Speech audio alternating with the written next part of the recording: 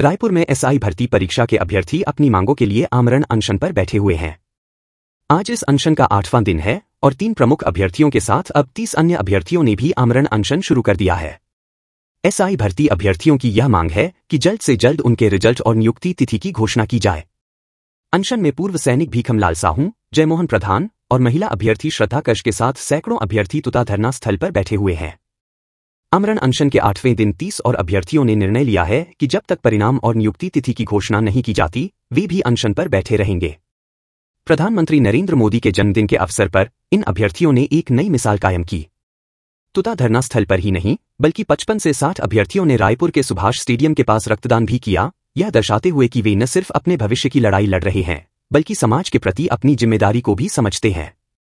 इन सभी अभ्यर्थियों की एक ही मांग है कि सरकार और गृह मंत्री विजय शर्मा जल्द से जल्द उनके रिज़ल्ट की घोषणा करें और नियुक्ति तिथि निर्धारित करें। अगर इस अनशन के बाद भी रिज़ल्ट जारी नहीं होता तो अभ्यर्थियों ने घोषणा की है कि वे अपने परिवार सहित बड़ा आंदोलन करेंगे। अब देखना यह है कि सरकार और गृह मंत्री इस स्थिति को कैसे संभालते हैं। ये अभ्यर्थी अपने भविष्य के लिए संघर्ष कर रहे हैं और अब सरकार से यह उम्मीद कर रहे हैं कि जल्द से जल्द उनका इंतज़ार खत्म होगा।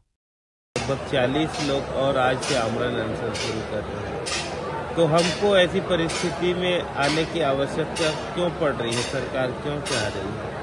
सरकार से निवेदन करना चाहता हूँ कि सरकार जल्दी परिणाम घोषित करे। आप कुछ कहना चाहते हैं भाई? जी मेरी सरकार से विनम्र प्रार्थना है कि हम सबकी विनती सुने और जल्दी से जल्दी रिज़ल्ट जारी करें। आप कुछ कहेंगे? सर, हम पिछले कई दिनों से हड़ताल में बैठे हैं। हम पिछले एक साल से अपना रिज़ल्ट का मांग कर रहे हैं। इसके लिए हमने बहुत सारे प्रयास किए। सभी मंत्रियों से मिल चुके हैं, सभी नेताओं से मिल चुके हैं पुलिस प्रशासन से मिल चुके हैं। उसके बाद हमने अपना हड़ताल जब चालू किया है तो हम हम, हमारी अभी ऐसी कंडीशन आ गई है कि हम अभी, हम भीख मांगे हैं एक प्रतीकात्मक रूप से। उसके अलावा आज ब्लड डोनेट कर रहे हैं। उसके साथ साथ हमारे सहयोगी और हम सब लोग आठ दिनों से पिछले आठ दिनों से भूख हड़ताल में बैठे हुए हैं और सरकार से यही मांग करते हैं कि हमारे रिज़ल्ट जल्दी जारी कर दे और हम जब तक रिज़ल्ट जारी नहीं होता तब तक इस भूख हड़ताल में बैठे रहेंगे आप लोग कुछ कहेंगे मैम क्या चाहते हैं सरकार से सरकार हमारा रिज़ल्ट हमें दे और हमारी तिथि हमें बता सरकार से निवेदन है कि अब वो हमारा रिज़ल्ट दे और हमारी नियुक्ति तिथि घोषित करे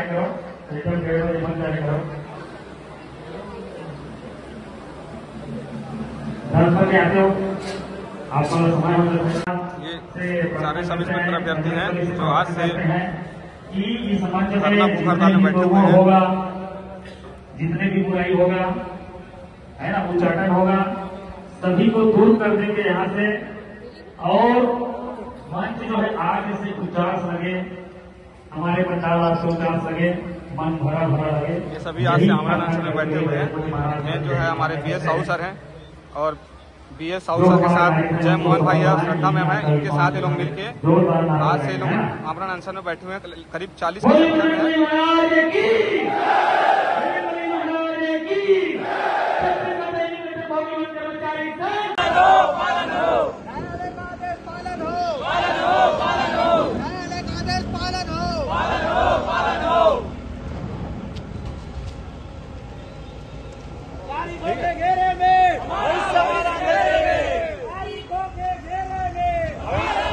Yeah.